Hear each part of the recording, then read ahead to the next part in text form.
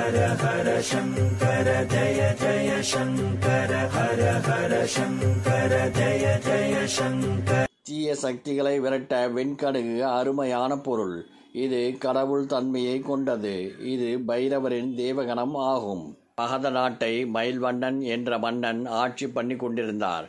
அவர் நிறைய தான தர்மங்களெல்லாம் பண்ணுவார். மக்களுக்கு நிறைய நல்லதெல்லாம் செய்வார். அதனால் அந்த மன்னனோட புகழ் எல்லா இடத்திலையும் பரவியிருந்தது. அந்த மன்னன் மேல் இருந்த பொறாமையால் விரோதிகள் தீய சக்திகளை ஏவி விட்டார் அதனால் நாளடைவில் அந்த மன்னனால் எதையும் சரிவர யோஜனை பண்ண முடியவில்லை. ரொம்ப தத்தளித்தார். அவரோட குடும்பத்திலும் அமைதி குலைந்தது.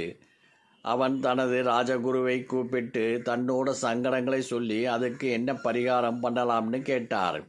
ராஜகுருவும் அவனுக்கு ஒரு விசேஷ பூஜையை ஒரு மண்டலம் பைரவருக்கு செய்ய சொன்னார். அப்படி ஒரு மண்டலம் பைரவ பெருமானுக்கு வெண்கடகு இலாமச்சுவேர் சந்தனம் அருகு இந்த நாளையும் வச்சு பாத பூஜை பண்ணிவிட்டு சாம்பிராணியை தூபத்தை ஏற்றி வச்சு அந்த தூபத்தில் வெண்கடுகை போட்டு வீடு முழுக்க அந்த புகையை காட்டினால் தீய சக்திகள் ஓடிவிடும் என்று சொன்னார்.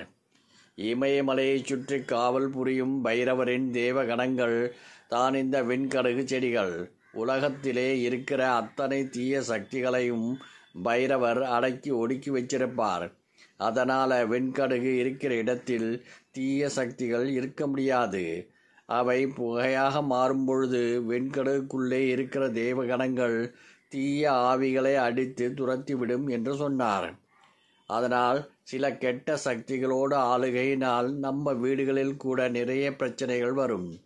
அதனால் மனசில் அமைதி இல்லாமல் குடும்பத்தில் ஒற்றுமை இல்லாமல் இருக்கிறவா சாம்பிராணி தூபம் போடுறச்சே கொஞ்சம் வெள்ளை கடுகை போட்டு வீட்டிலே இருக்கிற எல்லா அறைகளுக்கும் எடுத்து கொண்டு போய் அந்த புகையை பரவ விடணும். அதுக்கப்புறம் பூஜை அறையிலே கொண்டு போய் வச்சிடலாம். முடிந்தால் ஒரு சின்ன கிண்ணத்தில் வெண்கடுகை போட்டு வடகிழக்கு மூலையில் வச்சிடணும்.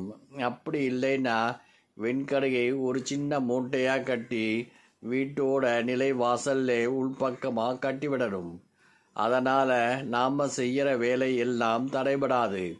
நல்லபடியாக முடியும். கண் திருஷ்டி கெட்ட சக்திகளால் வர கஷ்டங்களெல்லாம் போய் வீட்டில் சந்தோஷம் பெருகும்.